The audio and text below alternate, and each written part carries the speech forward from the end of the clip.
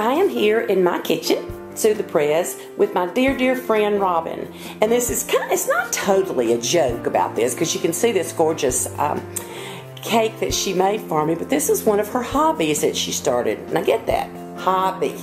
And she self taught herself how to do all these things. And I was jokingly told her, I said, now, I, she kept making cakes for everybody else. And, and I'd say, I want a cake. She was making a cake for this person or that person. And she never would make me a cake. And then finally, I told her, I said, I know what I want for my birthday. I want one of your cakes. Look what she walked in this morning with. This is my friend Robin.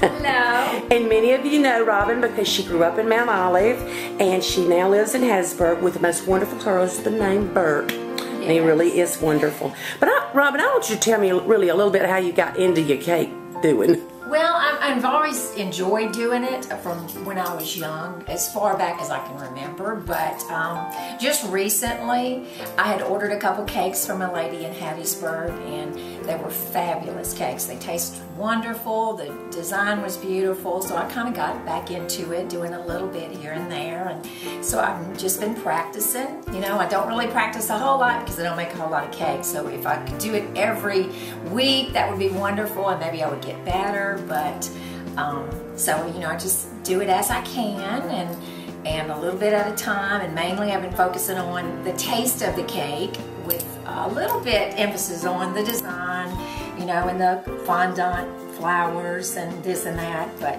so so, you know, this is the one that I came up with for you today, and it matches your my bag, my bag. Y'all will have to see it does. It matches my bag. Y'all probably have the whole camera down. But what's funny to me is Robin standing here saying, I don't practice because I don't have many. Look how cute that is with that bag. Is that not precious? But I'm afraid she's going to be getting phone calls. No, so, do not do it for the public because I'm not there yet. But why do you think you're not there yet? I'm, I'm serious because well, it looks fabulous. I mean, mainly the taste. It's not as consistent as I would like it to be as far uh-huh. as the taste, the flavor of the cake. Um, so that's really kind of it. And I'm just there's certain things about it that I need to, you know, I need to know. I really probably need classes, you know. Um, but so I do it for people that really it doesn't really matter. People that love you. That's right. No matter what. They will not judge. That's right. It tastes just great, or if you know something's not quite right. And of course, there's many flaws on this one.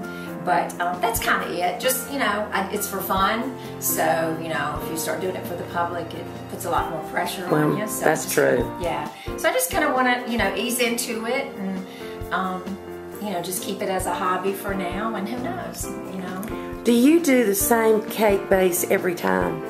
Cake flavor, or are you? Well, I'm really just practicing. I mean, I love to do like the in fillings on the inside. A lot of oh. people don't like that one. This particular one is um, just a vanilla buttercream on mm -hmm. the mm-hmm. bottom with a vanilla buttercream in the middle.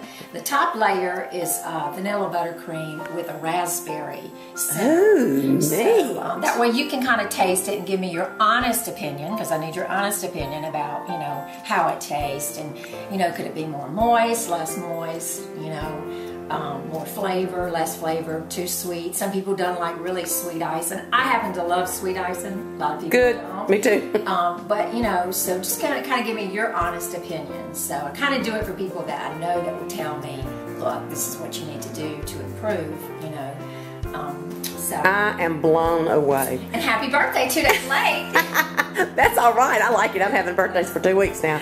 But you know, this is great. And anyone who has a hobby or something they enjoy should do like Robin and continue to work with it. And there are a lot of tutorials now on YouTube. Have you looked at any of those? Oh, absolutely. I stay on YouTube all the time. Oh, of course, Pinterest, you know, but mm -hmm. YouTube is a great, great way to learn things. And, you know, everything I've done, I've just learned from YouTube on my own, mainly sitting down working with it. So you didn't go to classes at all? No, no. Strictly. Not at all. Gosh, there may be hope for me. I doubt it.